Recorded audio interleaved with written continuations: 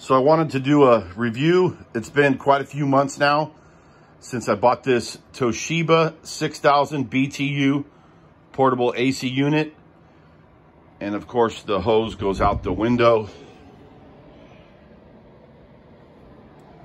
So my bedroom is about 225 square feet and I haven't got real crazy as far as running it really low.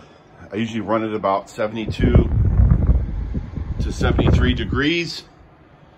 And within about an hour, the room is nice and cool and comfortable to sleep. And I'm in California. It's been real humid lately. So wasn't quite sure if I was supposed to put the hose in the back.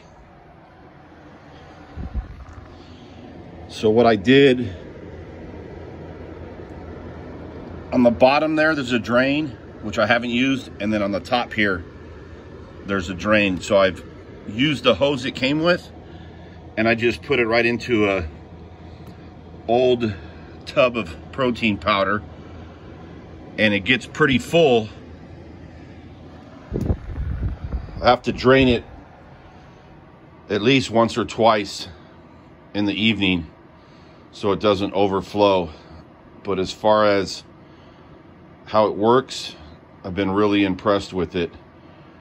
I would have probably gone with the 8000 BTU, but really impressed with this one.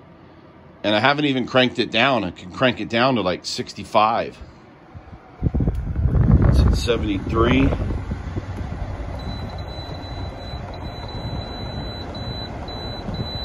Actually, it goes to 62. I haven't even had to bring it down below 72 and it cools off the room nicely. So I definitely recommend these units. I've been impressed with it so far. So I'm sure it saved me well over what I paid for it in the last several months. So um, it's up to you if you want to put that drain hose on the back or not.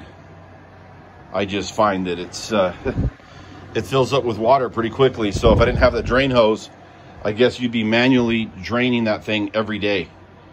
So there's a lot of uh, different opinions on that drain hose.